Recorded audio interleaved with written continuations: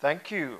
Thank you very much. So um, we want to keep this quite lively, I think. We had a, a quick chat before lunch, but clearly there is a massive uh, opportunity. This is a fintech uh, specific uh, forum. Um, and one of the things that fintechs love to do and one of the things that banks love to do is work together and understand um, uh, how we can, uh, I think to use the term, co-create. So we wanted to spend a little bit of time um, understanding really some of those thorny questions that I think sometimes lead to misunderstanding yeah, and potentially missed opportunity. And also we open up to the audience uh, as much as possible because uh, clearly you have views as well. So let's start, let's kick off. Um, first of all, you know, when you're a tiny business, when you're a startup, and you want to go and knock on the door of an enormous company like HDFC or like D, um, DBS, yeah, then you know, how do you go about that? So how do you guys go about opening your doors and making it easy for startups to, to get in touch? So, so for me, I think, uh, you know, we are not what we used to be. Like, you know, if you go back 10 years, so my previous is Deutsche Bank and RBS, uh, we can kind of, you know, create the rules of the road and everyone has to follow. But if you look at today, I think the word co-create talks about everything. For us, I think we want to work with the people that are coming up with the solution. I think what the fintechs have, they are uh, small, they're very nimble, they can come up with bright ideas, they have very little constraint when they're coming up with the idea. If you look at the banks traditionally, and we are also trying to come out of it, I think we are big, we have a lot of legacy system and so on and so forth, but we do realize that you know most of the competition that we have, that you won't be surviving unless we basically get along with what's happening in the ecosystem, in this case fintech, work with them and really solve the problem. And when I say problem, more than problem is jobs to be done. So each one of us, so for me, fintech comes to us, but I come back to you again as a customer. So it's basically working together. Okay. Smita? So same, uh, just taking forward uh, what uh, Subir said. Uh, you know, the fact is today we have to partner and we have to work together. It's not about competition. I think it's about partnership because uh, uh, fintechs have good ideas. They have, uh, cut, uh, you know, come with cutting edge technology, etc. Bank, banks have their own advantages in terms of distribution networks, etc.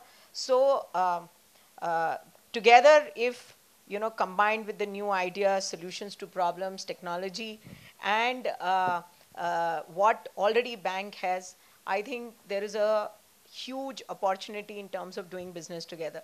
The other part is that, you know, how do we reach out to each other? So there are various things in the bank which we do where we invite startups to work with us. For example, we have our annual innovation summit, which uh, uh, all any startup who has a good idea and who thinks can work with the bank can apply and then uh, the applications are screened and uh, uh, obviously there is a committee which sees that which are the startups which we need. So we usually identify 50 to 75 startups who come and pitch and 8 to 10 startups are then selected to work for the bank. The other way is that if they have any idea, solution, etc., you can reach out to the bank uh, uh, through the nearest bank branch, etc. you have. So usually we have a, um, in, um, mm, you know, businesses who actually work with startups. Just to tell you, we have 150 startups who already work with the bank. And anytime coming with the new idea, and if it solves any problem, because banks look after various kind of business, uh, businesses, there are customers involved and the bank itself, their processes, etc. So there is a solution which will help the bank or the bank's customers startups are always welcome. Perfect. So one quick way I've learned over lunch of becoming a partner of HDFC is to become a customer of H HDFC, which yeah. gives you significant advantage. And not to make too much of a joke of that, actually banks can play, particularly for fintech customers uh, and fintech businesses, a very big part of the product solutioning. It's often the case that uh, banks are more amenable than you might think to adapting their own products or services to suit your particular business needs. So, uh, so no real joke there, actually, a reality.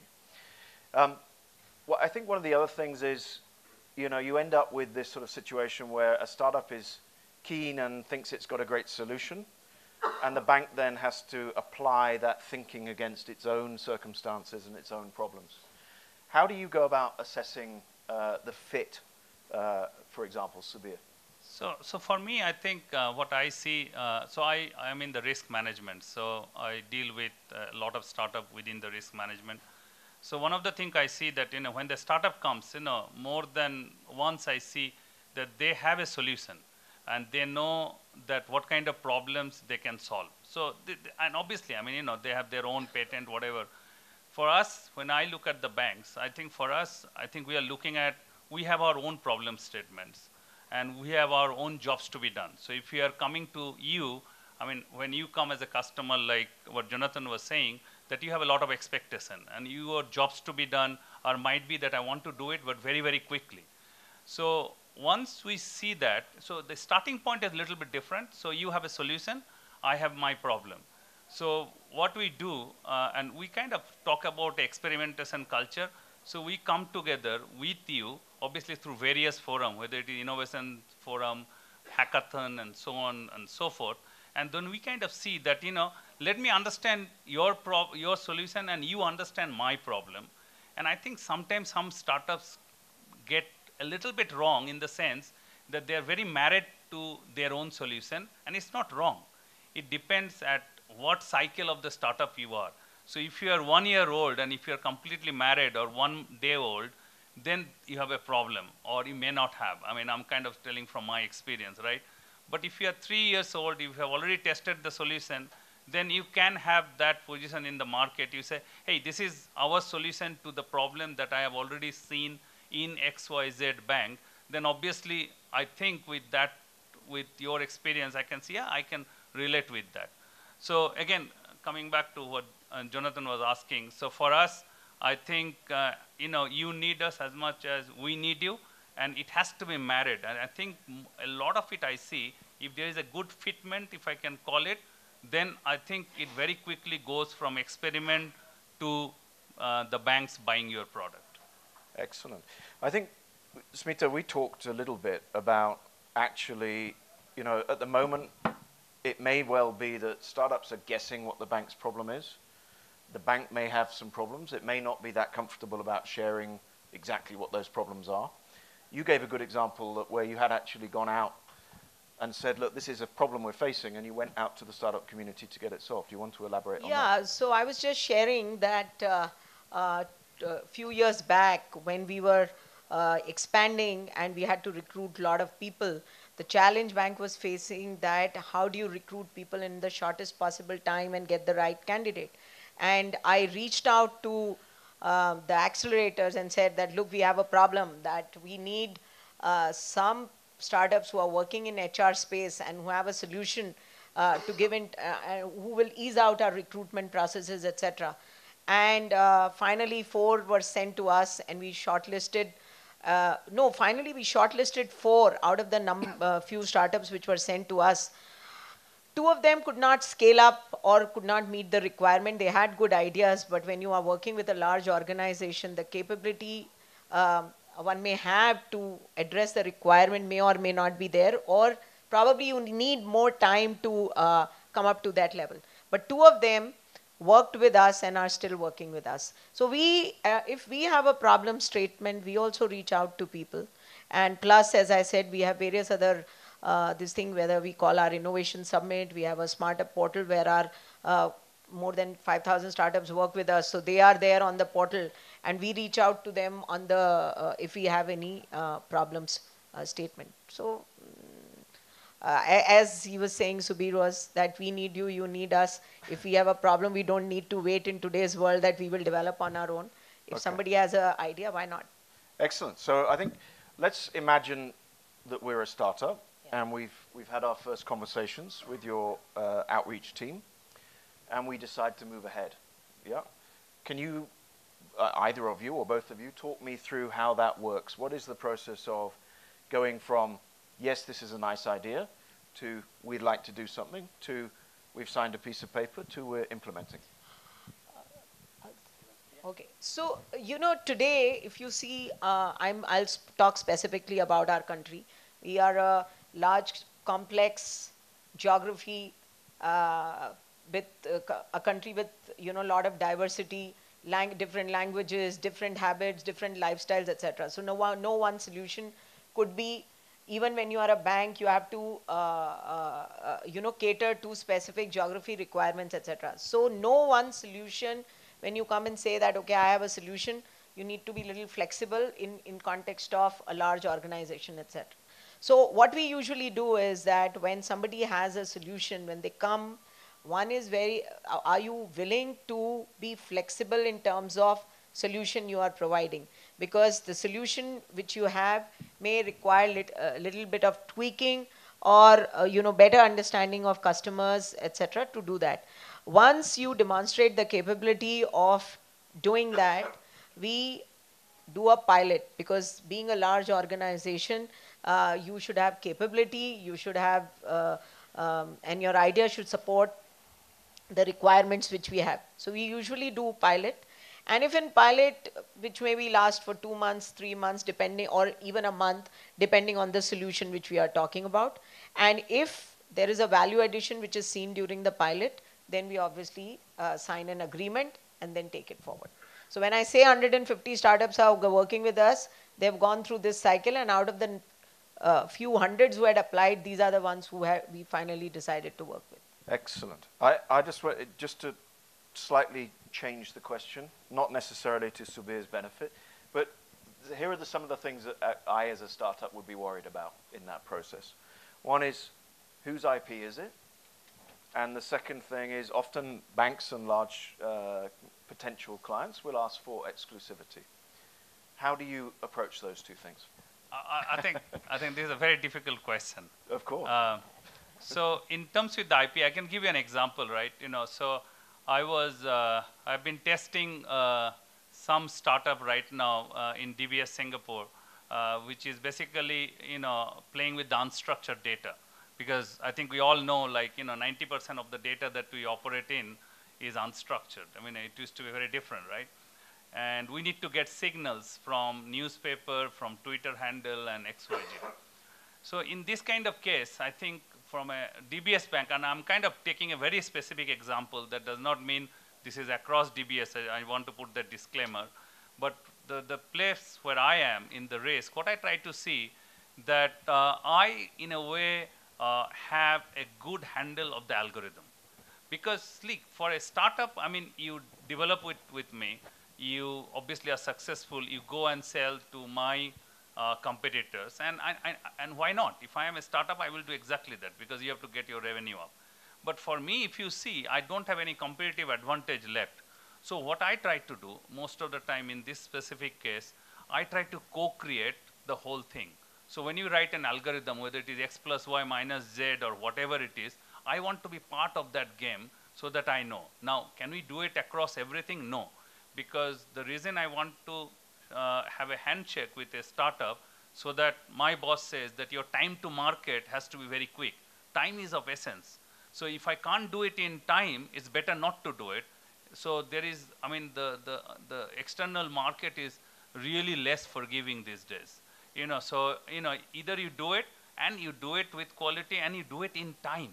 Otherwise, everybody else is trying that space. So, so for me, I think from an IP point of view, I think I can have an example where I want to be having a good control, at least 50 to 75% of the IP. But there are areas that I don't want to own the IP because I know that this is something that probably you will be selling it to someone else, and to them also it is a black box. So, so it depends on the situation. Okay. So it depends. Uh, Smita, you have anything to add on that point, or you'd rather move on? I'll move on. Yeah. I think uh, Fair enough. I think, you know, I think it's an important question because I think it, it is at the heart of the debate, which is clearly there are many advantages that banks bring, uh, or any financial institution bring to startups, and there are many advantages that startups potentially bring to banks. And I think the sense I get is that banks are cognizant of that. The one thing I would like to add, uh, which I think is not always appreciated by startups, uh, in, and this is also based on my experience uh, as a corporate uh, in an old previous life working with startups is that startups have to understand that banks' risk and reward here is quite heavily weighted towards risk. Okay, they, they are regulated entities. Uh, the, the fact that they retain licenses to do things is the bedrock of uh, often 100 million, 100 billion dollar plus businesses. And your idea may sound like a great idea to you, but it does take a bank some time to understand and to potentially work with you to adjust that so that it fits comfortably within a regulatory uh, environment. So please uh, be aware that the sales cycle, which may feel slow to you, has quite a number of moving parts. And also the risk and reward piece is probably initially weighted towards, uh, the, the reward is weighted, I would say, towards the startup. That said, uh, it's also the case that the bank gets many benefits around speed uh, and other things. Um, I think if, if we were to really try and look at where in India we are today with great businesses that are working with, uh, with banks and some good uh, success stories, uh, without naming names perhaps, but which, which are the sectors and the examples that you guys would give for great successful partnerships with banks between small, nimble technology companies and yourselves? So being a banker, the uh, biggest uh, issue uh, um, faces uh, with the banks faces uh, NPS or you know collections when they. Uh, so everybody today has solution for giving credit, um, but the solution for collections still are very rare. So we are working with one of the startups, and you all know that Reserve Bank of India has a prescribed cycle that uh, if you don't pay within this particular period, uh, then it gets classified as NPA. So this startup, because we had the worked on our uh, written off loans, and they bought, uh, uh, bought up a solution whereby now we are able to collect between 30 to 40 lakhs every month from the portfolio which was written off by the bank that and we thought that uh, collections would never happen. So what was the solution? See, it's not like no nobody today has infrastructure or feet on street to go and collect money. Okay, it is absolutely online way of reaching to the customers and doing positive reinforcement, making him aware that if he's a defaulter, if his name is there in CIBIL, all his life he will not be able to take loan. So various uh, you know, positive uh, stuff around this theme. This startup is working, and uh, and probably we are going to invest uh, in this startup very soon. So this is something which was our uh, really. You know, I, I would say a burning problem with all the banks that how do you, uh, you know, uh, address your NPS? How do you keep collecting money? It was a good idea and the way uh, they did it, I think we are very happy with them. That's a great. That's a great story.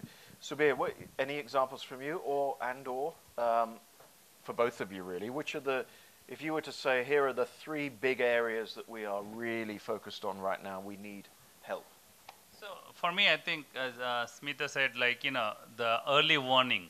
So for me, I mean, you need to understand, like you know, if I give you a loan and I take, I don't know, let's say three or four percent, but if I get out of hundred like one, uh, so three, one is to 33. So one bad customer takes away everything that I earn from 33 customers. So it's, it's a huge thing. And one of the things that I think you guys can work uh, on, or at least we are working as well with the startup, early warning. So, you know, these days the problem is sometimes I see that when I talk to startup, they say, yeah, yeah, we can predict, you know, we can tell you exactly what, who is going to fail. But I always tell that let's, let's you know, work together and co-create a solution. Like, you know, PNB happened. Now, if you go back and if you look into all structured and unstructured data, could you tell me or could you have guessed that this is going to happen?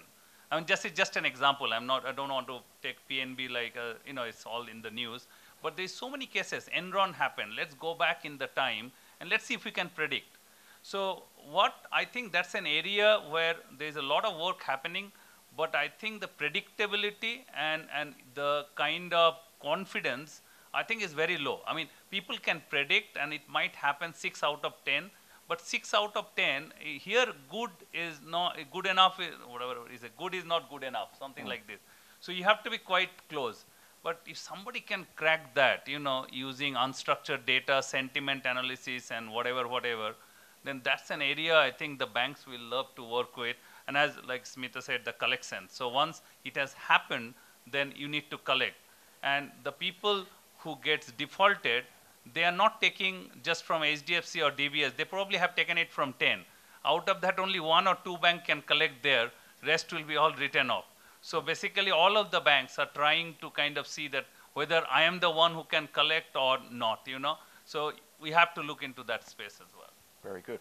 So from a lending perspective, uh, it's clear that I think things have moved a little bit from the uh, Facebook login, therefore this guy's a good credit risk, into the actually the more thorny problem of uh, we've dispersed this loan, now how do we get our money back? Yeah, and that's especially the case, I think, and not only at a large corporate level and large corporate lending, but especially as you move into tier two, tier three, uh, and rural markets in India. I think that's, uh, that's a definite area of focus. Any other problem areas that you guys want to highlight for any budding startups out there? So, not, um, that, not that you have any problems, of course. I think um, uh, considering the banks and today whatever is happening in lending, as we I said earlier also, collections is one uh, very interesting and big ar- area which every bank would be interested, and it'll be um, because mm today everybody wants to lend, but obviously when you lend now, two years later we will have to collect the money as well. So that is something very important. Second is today acquisition of customers largely in India is through discounts and cashback. Okay, actual uh, uh, uh, digital acquisition is still a uh, interesting uh, you know area with where one could you know would be very happy to you know work with startups. Then the other thing is that you know to again. Okay, I think to me the two top areas would be that. Okay. So I, I, I didn't, I can't see that far. Are you saying we need to open it up to the Question- more audience? questions, yeah. Perfect. So I think rather than us blathering on, let's get any questions for either uh, the startup uh, or probably more importantly, uh, the banks. I have a question for the bank. Uh, Two questions are, so you work with uh, 150 startups, you said. You s- You said you work with about 150 startups. What is the typical engagement model? I mean, uh, most preferred engagement model, that is, where you just use the license or invest or buy, that is one question. The Sorry, sorry, you said what preferred engagement, what did you see next? use i mean typically there are different models where you know a startup i can just license it and use it or i can invest in their company or i could even just completely acquire so which is the most preferred one is what you have seen S- so, that's my part one. Second yeah. question is from bank's perspective what is the typical cycle or a time frame you have seen for return on investment on these startups So point number one, uh, we don't uh, talk about right now investment or acquiring. We engage with startups for basically we have a problem. See, there are two things which a bank has. Maybe a problem related to banks, processes, or any other issue with the bank, or the customers. Anything where you can provide a experience to the customer or solve a customer's problem or give a value added service, etc. So basically, that is where we engage. Now, banks have a large number of businesses they work for. So that is why the opportunity or, or solutioning which startups can give to bank are huge. So 150 startups which are working, more than 150 who are working with us are actually working in different areas. It could be agri, it could be uh, HR, it could be technology, it could be uh, uh, data, uh, it could be payments. So there is uh, almost every vertical today in the bank would be working with uh, startups. What was your second question? So, so we haven't started investing actively. It is only now we have just made our fund, and the fund is basically also where we think the startups who are working with us and we are investing um, a lot of time mentoring, helping uh, them. And if we see that that solution is going to last for us for a long time, we would be investing. So right now, I would not be able to comment on that because just started. So for me, I think you know. Uh, i- i- so I think when the banks, they do not look at whether I am going to make this startup as my partner or only do license or only do this. Because the way I look at it, if I look into my own bank, I think all the three things that you said exist. So it's basically, you know, it's like being under the same roof, developing the solution, doing it, and then, you know, it's like a very organic type of relation building. Now, I cannot name, but I have a company that, you know, where we have invested a huge sum, and obviously it has to be both parties, right? You are interested, I am interested, let's, it's like it has to be a marriage, right? But there are cases where the startup thinks, you know what, I know my ecosystem well, I'll be interested to give you license. At that point of time, I have to think, yeah, I'm happy with this because this is not core for me. So if I'm into lending on payment business, that's core. But if you are giving me data, I can see, you know, that data is not that core to me. Very good. So then I, so it depends. But I, I, I, I would like you, uh, like to kind of put it like in a way that it's all kind of gets developed rather than anything. And in terms with ROI, uh, I think it's not again that we have been given a mandate that you know you need to get the ROI. I think at least from my mandate, I was just telling them uh, during the lunch that how do you get your time to market should be a lot better when you are working with a startup. So quality obviously implied has to be better, but the speed has to be a key. Otherwise, you know, you can't. I think it, just if I may, there's there's really two scenarios, okay? And I think people underestimate how open banks are to very early stage businesses with great ideas. There's another type of engagement, which is I've got an idea which is proven potentially with another bank, and I then uh, I'm really selling my product at that point. That's a different engagement. Next question, please. Uh, my question to uh, Ms. Bhagat. Uh, uh, can you tell me uh, what are the uh, apps where uh, HDFC is looking towards blockchain? And you spoke about co-work and co-creation with startups as far as solutions or products are concerned. So uh, have you collaborated with startups as far as blockchain solutions are concerned? And which are the apps uh, where you are looking for a blockchain solution? Right now, I may not be able to co- uh, comment because usually, uh, if there is something solution which you have de- developed and you send the details to us, we then connect with the respective vertical for which that particular solution is developed to see whether you are adding value to the bank or not. And that's how we go about it. It's not specific that this is how we want to go. And I just add. Have I answered your question? Uh, to some extent. Otherwise, tell me what because that that's what because see, it's not that we are going and saying okay, this is what we want. No one solution can be. I'm just This thing. just conscious that there's quite a few questions, so let's move on. Yeah. Uh, I have a question about uh, is local language use uh, important for the banks and in particular if uh, something that you're already using or you plan to use? Yeah. So as we are going in rural and semi-urban areas, we don't have a choice but to use uh, local languages. Yes, we are doing it uh, um, uh, already um, in, from in the bank for training, for uh, reaching out to customers. We are using local languages. Uh, I, I mean solutions related to uh, local languages. Yeah. Yep. My question was more related to informing your customers uh, in the local language through SMS or other statements if they want. Uh, so not fully, but yes, in last few months we have started uh, using it. It is still, uh, I would say, at a pilot stage, but uh, I see it that we don't have a choice. We have to do it. Thanks.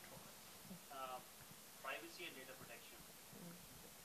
You have interaction with startups and you see good solutions coming up from them. Is that an area of cooperation? I- Isn't ah yes. Data I, I I am saying we are open to everything provided it adds value to us, and uh, we have our own uh, people. Uh, we have our risk management team. We have our own committees who go through and see that whether we can work together on this. Did you want to add anything? So? I mean, Yeah. they are kind of what I call it that absolutely mandatory, right? So whenever we are talking of any solution, it has to be that if I'm using the customer data, let's say your data, it has to be completely protected. Absolutely. So, so that goes without saying that we have to, you know, kind of maintain, like as uh, Smita is saying, that we have departments who will first look into this before even we start playing with it. It's you often it's often the reason that banks would will request you as a startup to sit inside the bank's infrastructure physically as people as well as as computers and work in that uh, environment, especially, I suspect, uh, from a European bank. Um, So- an- any other questions, or are we? Yes, one question, please. Yeah. So uh, I understand typically when you're trying to shortlist startups, you're looking at, say, 100, and then you're going down to 50, 10, 5, 1. Um, and you're looking at, you know, strategic uh, and tactical problems that you're trying to solve. What are the top two to three things you look at when you shortlist a startup uh, from a strategic perspective? Most of the problems that generally people look at are tactical. You know, this is what you're facing today. This is what we're facing five years down the line. But how, how do you evaluate that the startup can actually continue this relationship with us 10 years down the line? It's very difficult to answer. The world changes every year. Uh, so the point uh, is that different different businesses will have different problems and different uh, solutions or different time horizon. All right. So it depends on what is your solution, what is what as bank we are looking for, and that then uh, you know And depends decides on how that the market actually evolves from there. and that decides that how mu- what kind of engagement we can have. Because see, I today nobody can say that in six months what will happen. So that's why, uh, uh, you know, what is relevant right, right now, it fits as a, like you were saying, that both uh, solution and the problem should fit in If I- and accordingly take it forward. If I can just add on that point, and having sold and bought uh, businesses, um, I think the one thing India potentially could sometimes do better is consultative selling. So what, what I've gathered from my conversation with my colleagues here is that they have in their mind a problem. Yeah, you as a startup have a solution. Those two things are not yet wedded together. Okay, so what I think you need to do when you have the opportunity to meet and pitch to a bank is ask as many questions as possible before pitching the solution. Okay, it's human nature to say, here's my PowerPoint, this is my solution, now tell me your problem. Yeah, the actual other way around is to say, we're interested in doing something in blockchain. Yeah, the, we think there is an application in agri. Yeah, how are you working in agri right now? Does that work? So, uh, you know, it's a sales process, but I think these guys are more open to consultative selling than they are to single solution So selling. just, just to add, like, you know, I think you, you, you kind of asked a very uh, intense question. So banks have problem that they need solved now because if they don't, then somebody else is going to eat their lunch. But we also have problems that we then kind of create, which is the problem of the future. Now, blockchain, I think somebody was asking. So we know that it is not hitting us hard now, but if we don't do something, that it will really bite us badly in five years down the line. It might change, right? But then, like uh, Smita and I, like, we all look into that. What is going to, you know, kill us today? What is going to kill us in two years, three years? So there are things which I call problem of the future, and we engage startup. But we don't see like the way you kind of the lens is a little. You, you see where I'm coming from? I think, I think that was uh, fantastic, and actually what I'm seeing in, you want to take one last question? So Okay. my question is for Subir. So you are talking about unstructured data. So can you give me a couple of areas where you are looking at solutions from an unstructured data point of view? So for us, I think what I'm looking at, like let's say, if we are doing trade finance product, you know, and I'm I want to go into Bangladesh, I want to go into Morocco, I want to go into African countries, right? But if you look at, uh, you know, I think uh, it's very uh, kind of saturated. If you want to only work with the listed companies, see the money comes uh, is if you are going there and working with the companies that are less served. Now, the challenge that everyone has that there is very little structured data, and even if there is there, you know, unless you are more than X million in that country, it are not audited audited documents. So even if you have the structured data, I don't know how much you can trust, but what you can trust is the local language newspaper or the local language English or global press. But global press will not. FT is not going to cover something small in Morocco, right? So what we are trying to see that can we capture the sentiment of the people? Because everything moves based on the sentiment. I mean, I know it's a bit of oxymoron statement in the sense, I mean, you know, if I go into the depth. But what I'm trying to look at that I just don't take the journalist view of the local language. We also analyze the blogs. So journalist might have a little uh, kind of, you know, color in terms with what he wants to put. So you and I can look the same thing and you can say, I mean, getting out of this room, you probably say 10 people will say, wow, that was a very good panel. And 10 people say that I just wasted my time. Now, who is good, who is not? So you see what I'm doing? So you take that sentiment out and see that whether you know. See, for me, it's like if bear is coming behind you and I, I don't have to run like Usain Bolt. I have to run faster than you. So for me, with competition, I have to be better than my competitors that I have, whether banks and non-banks. So I think I think we'll have to draw the line there. Uh, but the theme that I was saying that I've seen commonly coming out and developing through this session is that it is not about what the bank or the insurance company wants. It's not about what the startup wants. It's not necessarily about what the consumer or the regulator wants. It's all about the ecosystem itself. And I think we are actually still in an evolving and a maturing ecosystem. And uh, if everybody wins, where the synergy lies is that's where actually every, the tide is actually going to go. Yeah. So thank you very much, Smita, Subir, and Jonathan.